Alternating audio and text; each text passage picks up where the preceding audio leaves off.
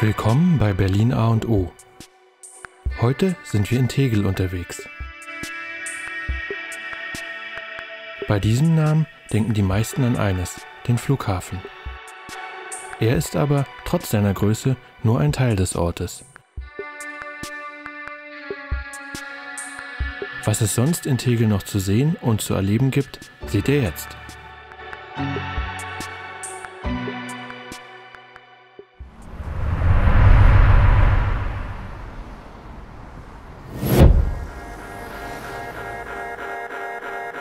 Unsere Tour startet an den Borsigwerken, genauer gesagt am gleichnamigen U-Bahnhof der U6.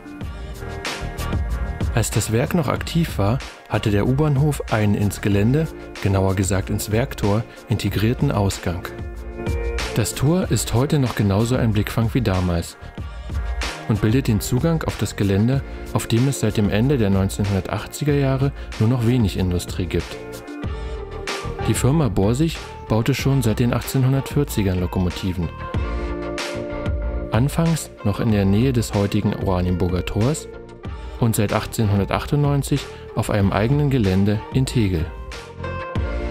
Es hatte einen eigenen Hafen, den sogenannten Borsighafen. Noch heute erhalten ist auch der Borsigturm. Er war bei seiner Eröffnung 1924 das erste Berliner Hochhaus. Wenn man sich bei seinem Anblick an das Ullsteinhaus in Tempelhof erinnert fühlt, ist das kein Zufall. Beide Gebäude sind im Stil des Backsteinexpressionismus gebaut und entstammen den Plänen des gleichen Architekten, Eugen Schmohl. Im Alltag der NordberlinerInnen präsenter sind die Hallen am Borsigturm. Nachdem das Gelände seit Ende der 1980er nicht mehr für die Metallverarbeitung genutzt wurde, stand vieles leer und drohte zu verfallen. Die Schreibwarenfirma Herlitz übernahm in den 90ern einen Teil des Geländes und entwickelte mit der Stadt einen Plan für die Zukunft des ehemaligen Werksgeländes. Neben Büros, einem Hotel und dem Bürgeramt findet sich heute auch ein Einkaufszentrum nebst Kino auf dem früheren Industriegebiet. Alle greifen ihre Geschichte auch architektonisch auf. Sei es durch das Einbinden noch vorhandener Bauten oder durch die Gestaltung im Rot der alten Backsteinbauten.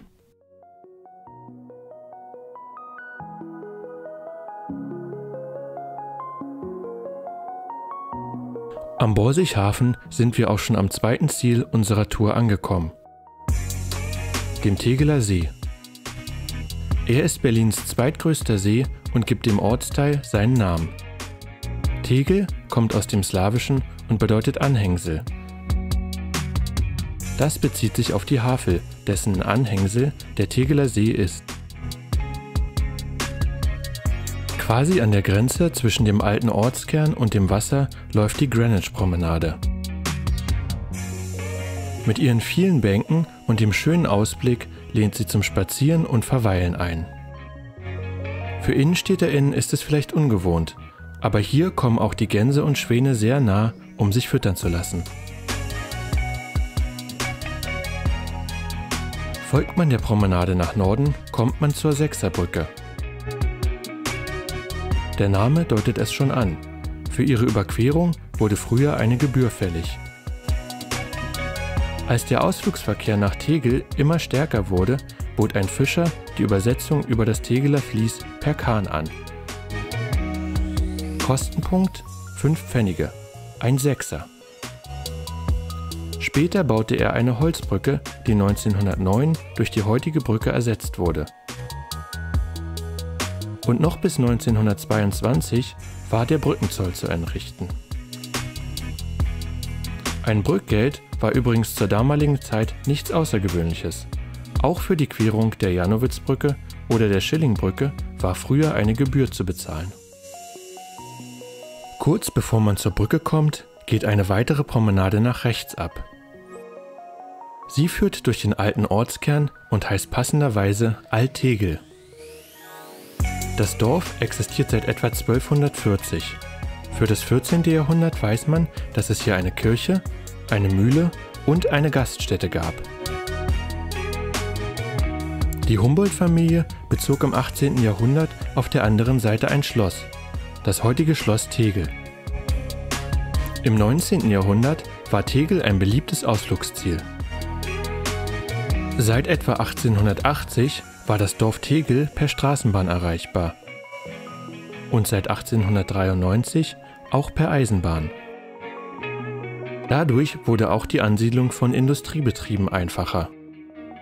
So wuchs Tegel, wie viele Berliner Vororte, Ende des 19. Jahrhunderts stark. Hatte es 1830 noch etwa 150 Einwohner, waren es 1910 schon über 18.000. Heute sind es ungefähr doppelt so viele.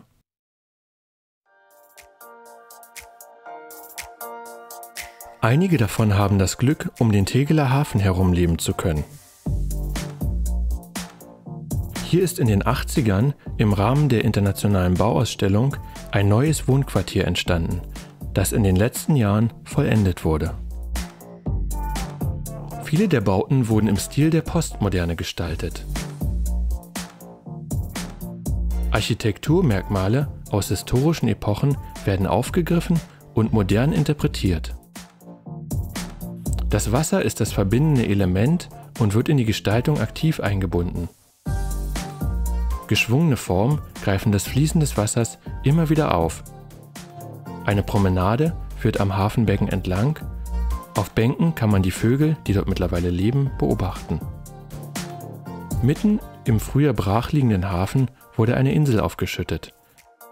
Diese wurde allerdings erst ab 2013 bebaut.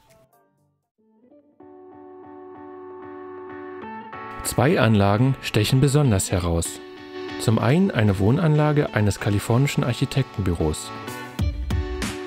Die monumentalen, teils mehrere Stockwerke hohen Toreingänge, das Aufgreifen historischer Elemente und die großzügigen Innenhöfe machen Eindruck. Im Rahmen der IBA ist auch die Humboldt-Bibliothek entstanden.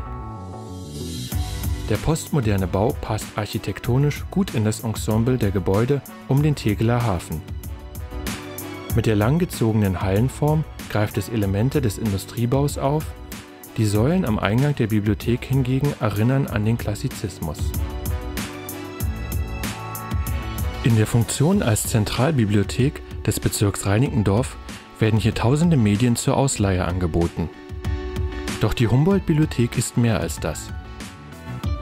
Auch Ausstellungen, Lesungen und andere Veranstaltungen finden hier statt. Und auch zum Arbeiten finden sich hier Plätze mit Ausblick auf den ehemaligen Hafen. Von hier aus kommt man in einigen Schritten die Berliner Straße hinab zum U-Bahnhof Alt-Tegel, wo ein die U6 zurück in die Stadt bringt. Auch der S-Bahnhof Tegel liegt in Laufreichweite. Wer noch etwas weiter laufen möchte, dem sei ein Spaziergang entlang des Tegeler Fließes empfohlen. Das Gewässer wirkt sumpf- und urwaldartig und ist einen gesonderten Ausflug wert. Folgt man dem Fließ, kommt man letztendlich am Stadtrand im Ortsteil Lübars an, dem wir uns ein anderes Mal widmen werden. Bis dahin heißt es auf Wiedersehen und bis zum nächsten Mal.